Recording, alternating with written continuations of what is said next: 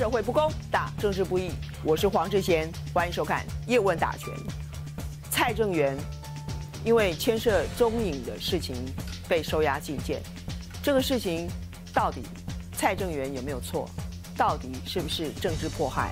因为手头上我现在我我自己对这个事情的了解还不够，所以我们节目目前没有讨论。等到我了解够了，我们一定会讨论，因为我们要问社会上所有不公不义的事情。而罗志正，这今天最夯的人，他的外遇，他带助理到摩铁，这是一件事，但他出来假装道歉，可是至今说谎，这是第二件事情。第三件事情是他牺牲他的助理，要重整他办公室的结的结构，所以一起到摩铁的一男一女，女的丢了工作，男的继续荣华富贵。所以我们永远要牺牲女人，成全男人的荣华富贵吗？而《自由时报》，《自由时报》对于所有他想修理的人，他想修理的事情，不在于公益，只在于私利吗？我手上有一个，你看哈，这是民国八十一年的《自由时报》的截图，上面的标题叫做“王建轩受中共欢迎”，什么意思呢？因为那时候台湾土地暴涨。所以王建轩作为财政部长，他要推一个土地正义、居住正义的政策，结果被自由时报连续超过一个礼拜炮轰，最后王建轩下台了。年纪跟我一样长的人都记得这一件事情，所以让我们永远记得，媒体也是我们要监督的对象。今天跟我们一起打拳的董哥董志森，大家晚安。前监察委员叶耀鹏，大家好。实践大学副教授赖月谦，大家好。资深媒体人郑思成，之前大家晚安。桃园市议员黄建平，大家好；台北市议员钟小平，大家好。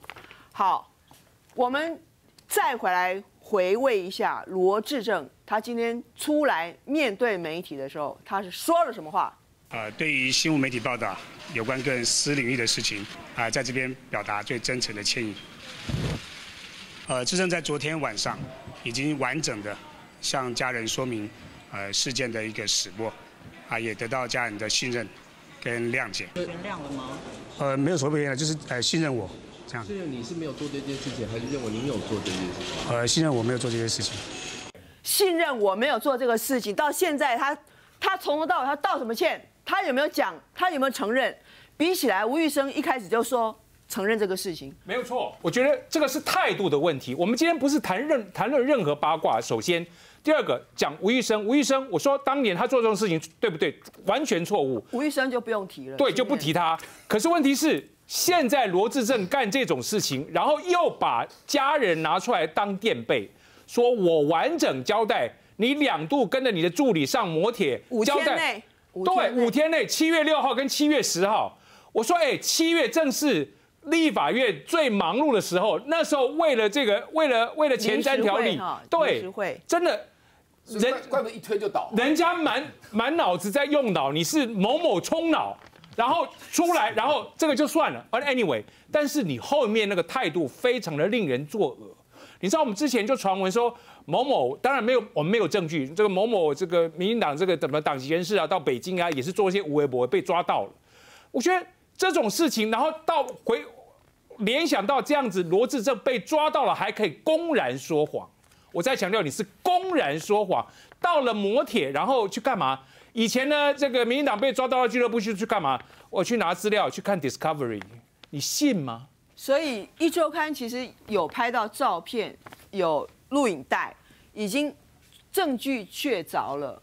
那他要不要出来解释一下？他出来今天应该是道歉。然后如果他不承认说他没有，他不承认他做这个事情，他说他没有做的话。那他跟他助理两度去磨铁，到底做什么？那现场记者也没有问。难不成你要他他不让现场记者问？今天那种这种状况，记者那么乖就不问吗？他记者媒体监督政治人物还是政治监督媒体？对民进党这些民意代表就真的很宽容，我觉得很奇怪。为什么呢？今天在立法院，我就听说那些记者他就不给记者问，然后就走掉了。就而且他本来还不发声明的，据说是这个在有人的劝说下，你就面对吧。早上他还发给这个媒体，他本来那个上节目，后来取消那个那个上上广播节目的通告之后，然后还那对方主持还跟他讲说，这个事情你要怎么办？这样子你你做错了。那他也说他我知道他会去安抚他太太这样子，所以我觉得几雷狼掏家啊，砍他几个灰啊？你不觉得选前的时候打夫人牌还打太太牌，选后的时候就变成糟糠妻，法妻不见了？你通篇的这个，你看他那个声明一百多字七行话，有没有提到你老婆？哦，家人的这个谅解或怎么样？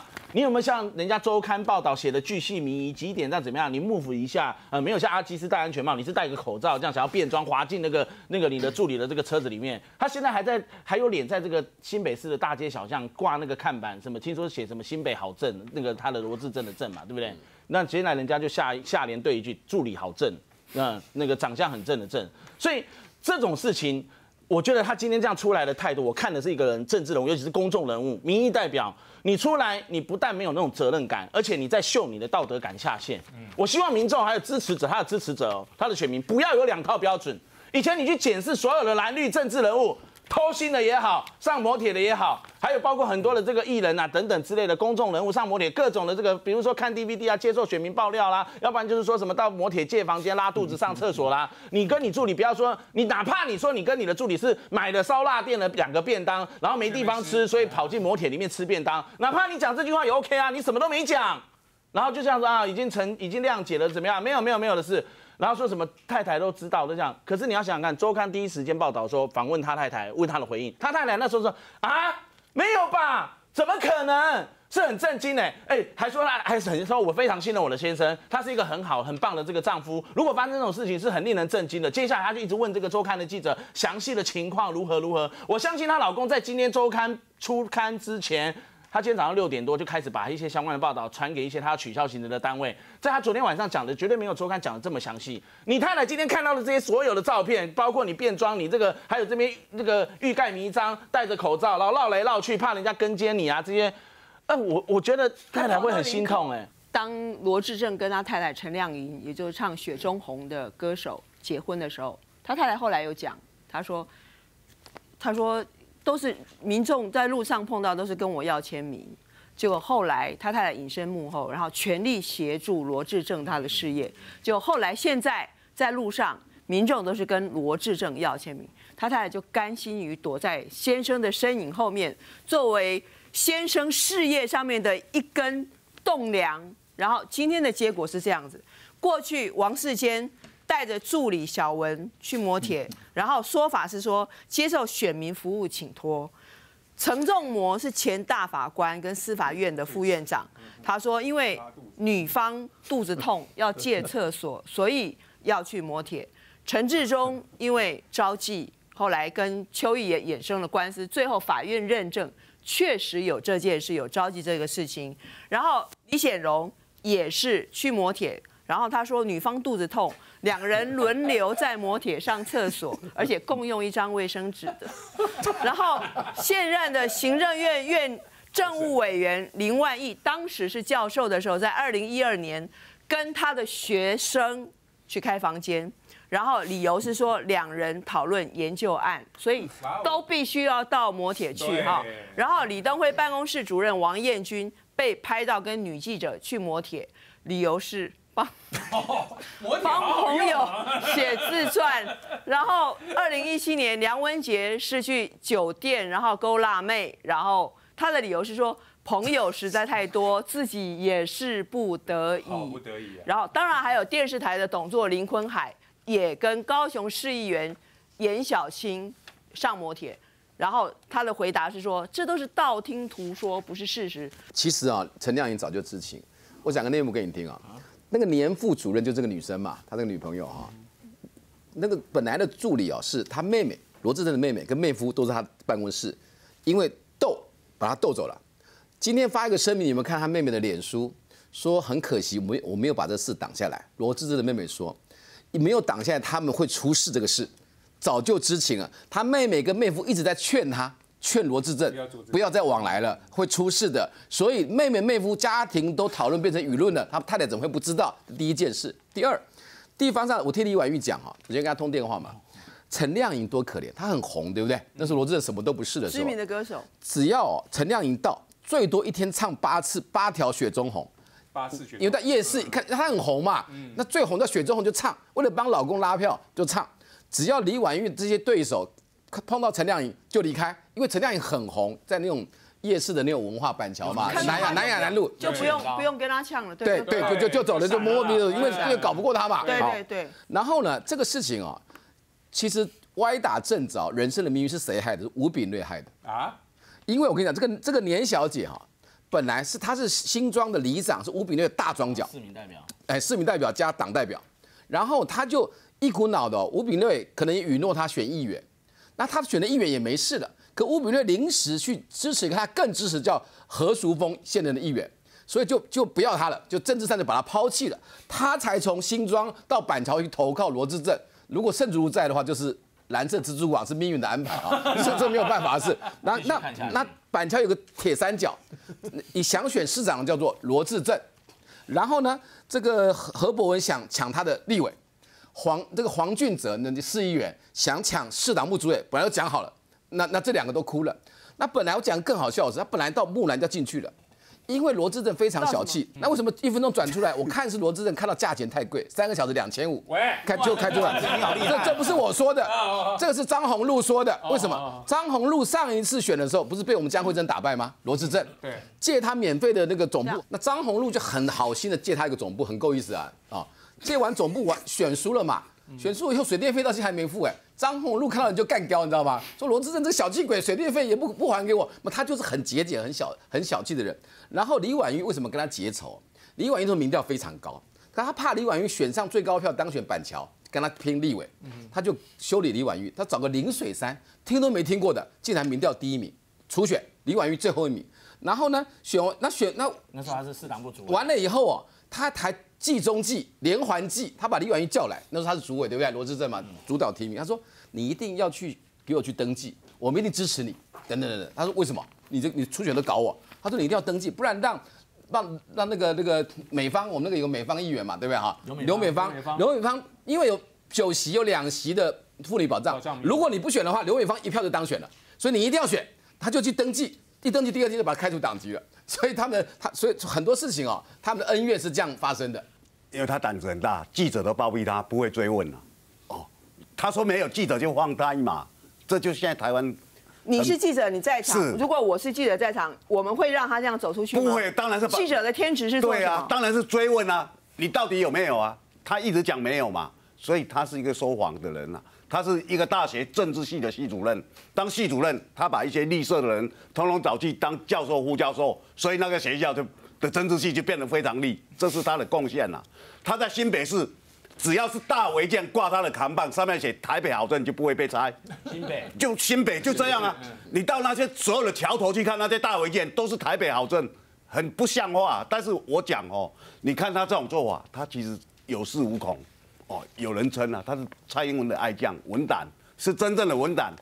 哦，对，所以他他敢所以他做，不怕，他敢这样，他觉得这个事情就过去了。对，就是过去了。我反正不讲，以后我就过去了。反正媒体是比较舔我们的，那我敢做这个，我现在就真的让媒体这几天不要报答我，够一两个礼拜以后，我出来还是一尾活龙。哦，那你今天看到的最让人家觉得不能接受，就是哦他的那种公开说谎，然后哦义护我悍然我不理你，那你今天看到就是我们这样的态度。好，那你说没有发生什么事情，我请求一件事情，既然没有发生什么事情，为什么要把联络主任给开除了？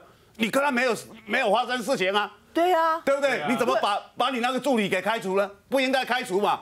就说他为你被人家指指点点，受尽这么委屈，你们其实没有干什么事情嘛，所以你更应该把他留下来，升他做主任，对不对？受这么多的委屈呀、那我讲这个天公地道吧。九幺幺那个东北调，东北调一条歌你们听过哈？就是是三，其实东北调不是三个礼拜，这一次啊，李婉玉、江慧珍国民党的代表，然后跟罗志珍在板桥选区选举，那个时候哈、黑函都到了他的对手罗志珍的对手江慧珍跟李婉玉的手上，这件事情就这件事早其实早就在一起。地方上早就有传闻了。地方上传闻就是新书派的基层黑函，然后人地时事务都很清楚，罗志正他都知道。只是那个时候，因为江慧珍国民党很老实嘛，江慧珍早今天我跟江慧珍通电话嘛，那三立的节目本来他要去了，他就他也他不去就叫我去，我就去了，替国民党去打打个仗。